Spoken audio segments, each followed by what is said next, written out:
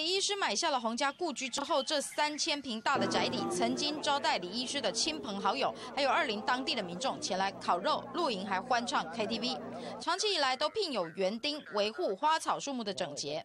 但是现在传出来，家住台北市的李医师，因为也快八十岁了，无力再在台北跟彰化之间奔波，所以打算以六千万元卖掉房子。只是有这个行情吗？我们来听听房仲人员的说法。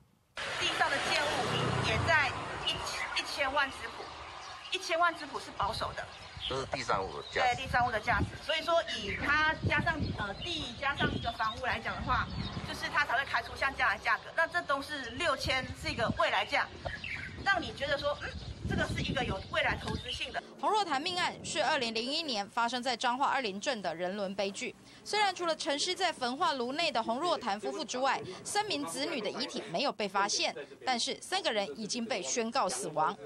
五人死亡的凶宅可以卖多少钱？其他的房仲说明，宅邸所在的中西里没有六千万的行情，行情大概落在三千五百万。再因为凶宅打个五折左右，所以大概两千万是差不多的行情。